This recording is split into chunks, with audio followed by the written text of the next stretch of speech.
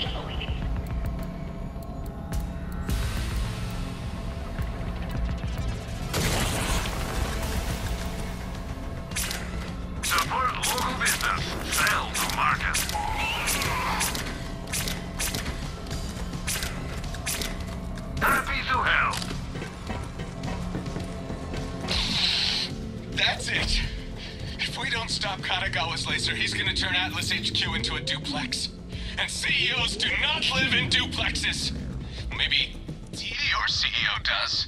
I mean, those guns are garbage with the trigger, right? Burn! I'm still sad about France. But the fate of the entire planet is at stake.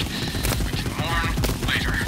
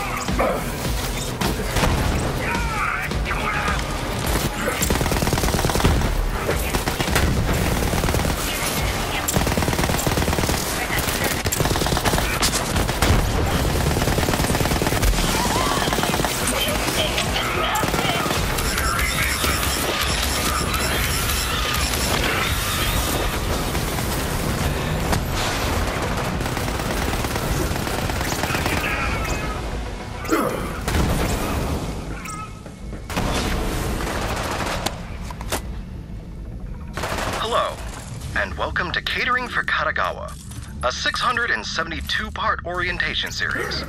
If you're listening to this, you've been selected to serve aboard the Zanara, the flagship pleasure yacht of the Katagawa fleet. Congratulations!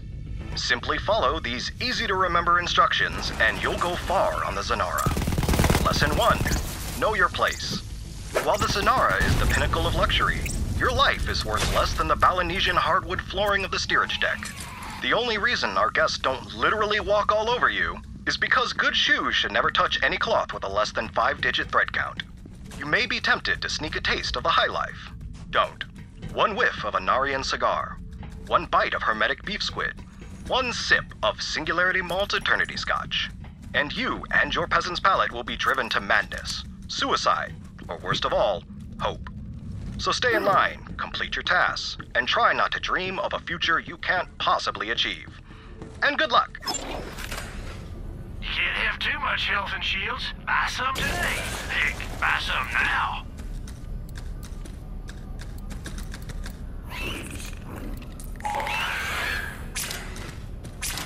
You know, I pulled one of these out of a patient once.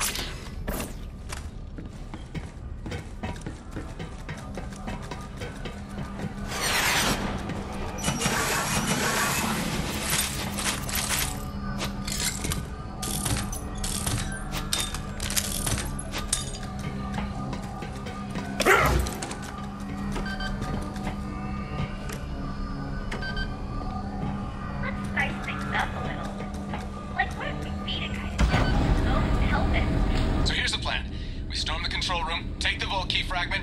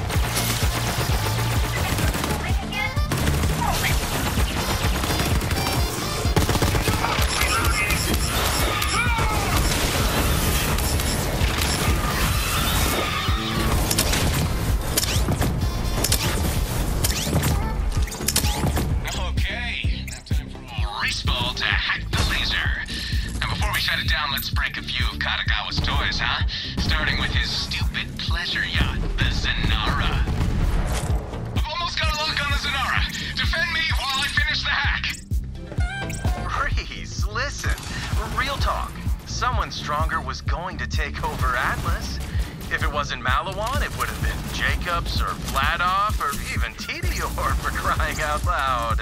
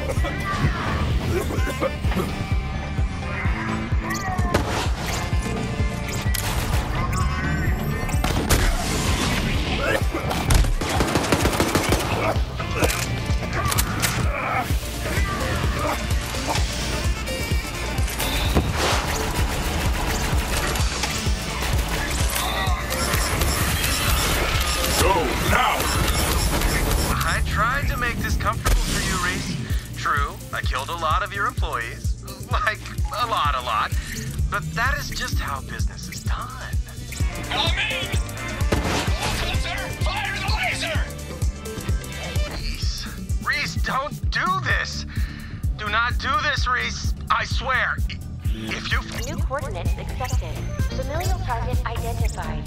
Sonara,